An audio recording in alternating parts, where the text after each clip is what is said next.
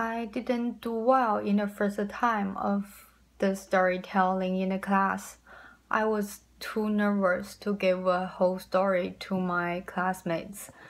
Sometimes I forgot some parts of my story and uh, I used too much filters inside of my storytelling.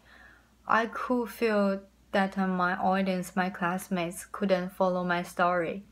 It is quite hard for me to tell the whole story at that time. But uh, seven weeks passed.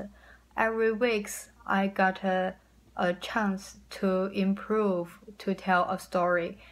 I do a lot, learn a lot from my classmates, from my uh, from the reading materials and uh, from uh, Professor Travis. Mm, my classmates and uh, Professor Travis feedback make me improved. I think uh, now I I'm quite enjoyed of preparing stories every week for the class because when I looking at the prompts, uh, it reminded me of some things happened before, and uh, it reminded me of the little things in the life in life, and uh, those memories make me very happy.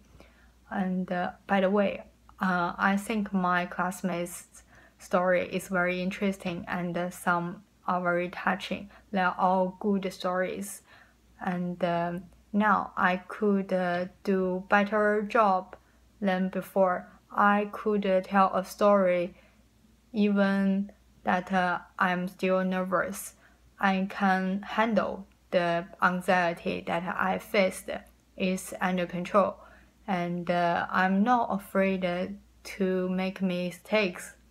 I mean, make a grammar mistakes because sometimes mistakes happened, and uh, what I can do is to continue to tell the story.